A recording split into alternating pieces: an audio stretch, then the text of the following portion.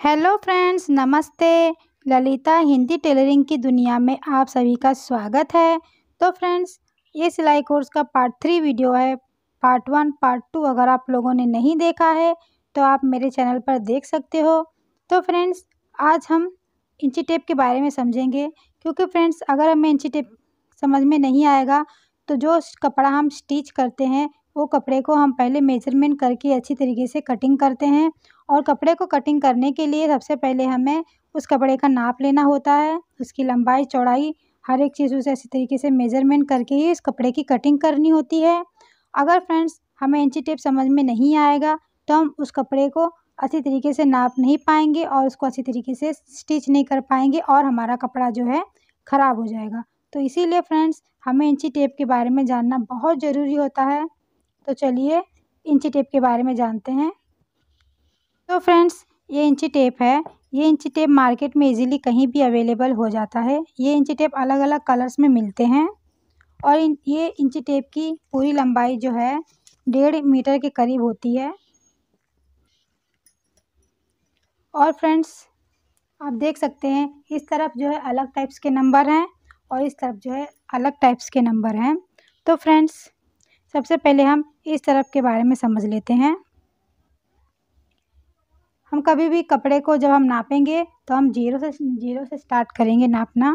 क्योंकि फ्रेंड्स, यहाँ से हम अगर एक नंबर से नापना शुरू करेंगे तो हमारा कपड़ा जो है ख़राब हो जाएगा। एक इंच जो है हमारे कपड़े की लंबाई या फिर चौड़ाई, जो भी हम मेज़रमेंट कर रहे हैं, उस कपड़े की एक इंच जो है कम हो जाएगी। तो फ्रेंड्स, इसीलिए जब हम कभी भी कपड़ा नापें तो यहाँ से ज़ीरो से स्टार्ट स्टार्ट करें नापना। एक इंच से ना ना नापें, यहाँ से हम नापें। यहाँ से यहाँ तक जो है ये आधा इंच होता है और यहाँ से यहाँ तक जो है एक इंच होता है। तो फ्रेंड्स, यहाँ से यहाँ तक एक इंच, यहाँ से यहाँ तक दो इंच, यहाँ से यहाँ तक तीन इंच, यहाँ से यहाँ तक चार इंच होता है। जो हर एक नंबर्स के बीच में जो ये गैप होते हैं, ये एक इंच होते हैं। इसी तरह सारे नंबर्स के बीच में इतने इतने गैप हैं, आप देख सकते हो। ये गैप जो है एक एक इंच है और हर एक गैप के बीचों बीच में ये एक बड़ी डंडी है। जैसे एक और दो के बीच में ये थोड़ी बड़ी डंडी है। ये जो है, ये ये हमें बताती है कि ये दोनों की दूरी के बीच में जो ये डंडी है, ये आधा आधा हिस्सा है इसका। ये दोनों एक इंच के पार्ट का आधा पार्ट है ये। यहाँ से आधा है। मतलब यहाँ से यहाँ तक जो है आधा इंच है और यहाँ से यहाँ तक आधा इंच है। एक इंच के बीचों बीच का ये पार्ट है। ये यहाँ तक आधा, यहाँ से आधा। ये दोनों दोनों मिला के हुए एक इंच और ये दोनों के बीच में जब नापेंगे तो ये हो गए आधा इंच। तो इसी तरह हर एक नंबर्स के बीचों बीच में ये एक डंडी होती है। इसी तरह जैसे कि हमें डेढ़ इंच नापना है तो यहाँ से, यहाँ तक जब नापेंगे दो और एक के बीचों बीच में जो ये डंडी है, वहाँ तक नापेंगे तो ये हो जाएगा डेढ़ इंच। और यहाँ तक जब हम नापेंगे दो और तीन के बीचों बीच में जो ये डंडी है, ये हो जाएगा ढाई इंच। और इसी तरह तीन और चार के बीचों बीच में जो डंडी है, ये हो जाएगा साढ़े तीन इंच। क्योंकि जो जो नंबर के बाद ये बीचों बीच में जो डंडी आएगी, वो आधा इंच हो जाएगा। मतलब तीन के बाद अगर डंडी आएगी बीचों बीच में, चार के पहले, तीन के बाद तो ये साढ़े तीन। और अगर चार के बाद और पाँच के पहले अगर ये डंडी बीचों बीच में रहेगी तो उसी तरह ये साढ़े चार। उसी तरह हम साढ़े, सारे नंबर को नाप सकते हैं। जैसे कि नौ के बाद ये है। और ये दस के पहले है। ये ये दोनों के बीच के दूरी में, ये बीचों बीच में जो है, ये डंडी बड़ी वाली, नौ के बाद साढ़े नौ। ये साढ़े नौ है। और दस के बाद अगर ये डंडी है तो ये साढ़े दस है। तो इसी तरह फ्रेंड्स, दस के पहले है ये साढ़े नौ और दस के बाद है ये साढ़े दस।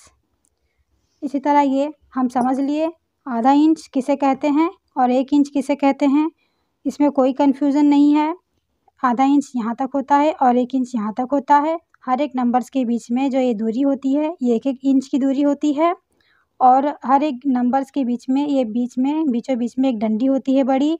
ये हमें ये बताती है कि ये दोनों एक इंच के दूरी में जो डंडी है, ये आधा इंच है। ये दोनों के बीचों बीच में जो है, ये आधा इंच होता है। इसी तरह हमें हर नंबर्स के बीचों बीच में एक डंडी मिल जाएगी। तो फ्रेंड्स, अब हम इसमें कोई डाउट नहीं है। अब हम सवा इंच और पौने इंच के बारे में समझेंगे, क्योंकि फ्रेंड्स सवा इंच और पौने इंच में अक्सर लोग कंफ्यूज हो जाते हैं कि सवा इंच क्या होता है और पौने इंच क्या होता है। तो चलिए सवा इंच और पौने इंच के बारे में भी हम जान लेते हैं, ताकि हमारा जो है सारा डाउट क्लियर हो जाए इंची टेप से लेके।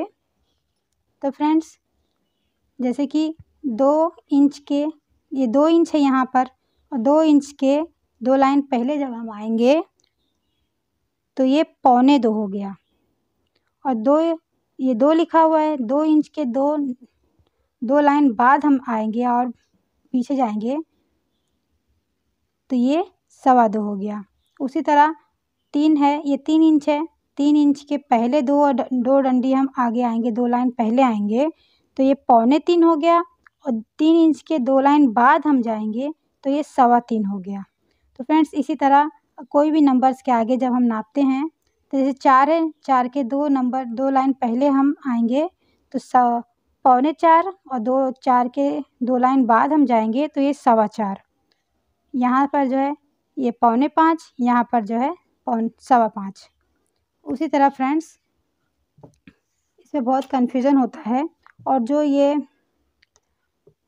ये जो एक और ये दो के बीचों बीच में जो डंडी है, ये तो डेढ़ है, इसे हम जान चुके हैं।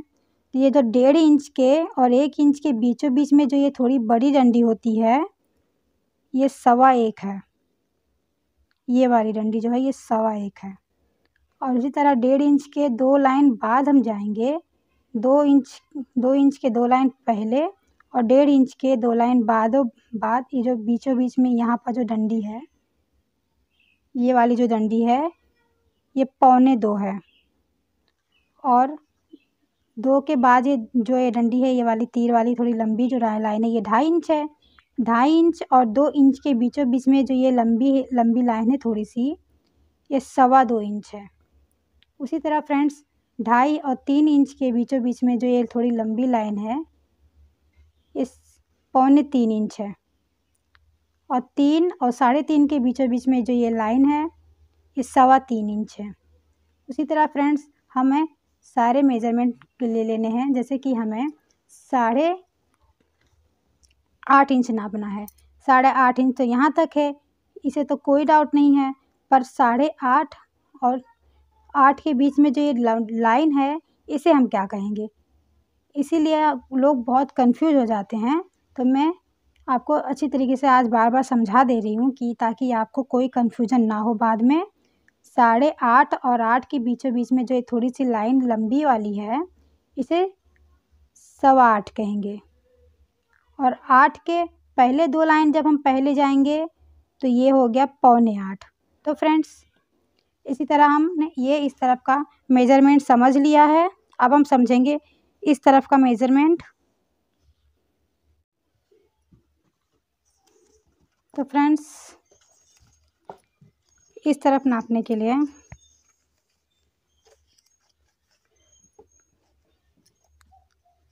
हम यहाँ से नापते हैं। ये मेरा इंची टिप जो है, थोड़ा पुराना हो चुका है, पर कोई नहीं। तो फ्रेंड्स, यहाँ से हम नापेंगे। इस तरफ़ से लास्ट लास्ट में, यहाँ से। यहाँ से ये वाला इंची टेप यहाँ से शुरू होता है। आप देख सकते हैं यहाँ यहाँ पे एक, दो, तीन, चार, पाँच, छः ऐसी छोटी छोटी लाइंस में नंबर्स लिखे हुए हैं। ये जो नंबर्स है, ये सेंटीमीटर्स है। ये सेंटीमीटर है और ये इस तरफ़ जो नंबर्स लिखे हुए हैं, ये इंच है। यहाँ पर ऊपर सेंटीमीटर्स और यहाँ पर इंच है। ये दोनों यहाँ पर बने हुए हैं।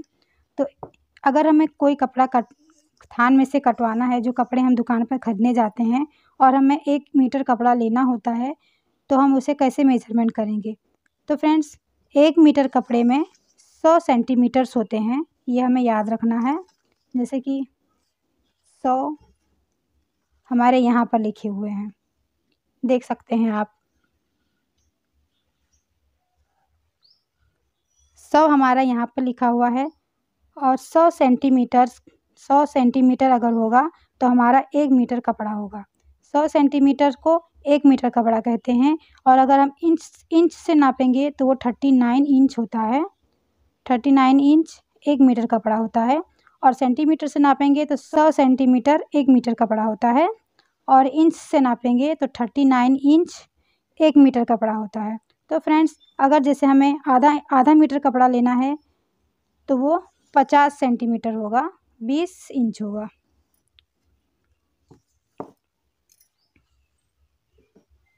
यहाँ पर आप देख सकते हैं, ये बीस इंच हो गया और ये पचास सेंटीमीटर हो गया तो ये हो गया हमारा आधा मीटर कपड़ा। तो फ्रेंड्स, इसी तरह हम सेंटीमीटर और इंच समझ लिए हैं। फ्रेंड्स, मैंने दोनों तरफ़ के आपको समझा दिए हैं, दोनों तरफ़ से इंची टेप को। अगर आपको फिर फिर भी कोई डाउट हो तो आप कमेंट बॉक्स में पूछ सकते हो। और फ्रेंड्स अगर आप सबको मेरी वीडियो पसंद आए, आई हो तो प्लीज़ मेरी वीडियो को लाइक करें शेयर करें और मेरे चैनल को सब्सक्राइब करना ना भूलें। Thank you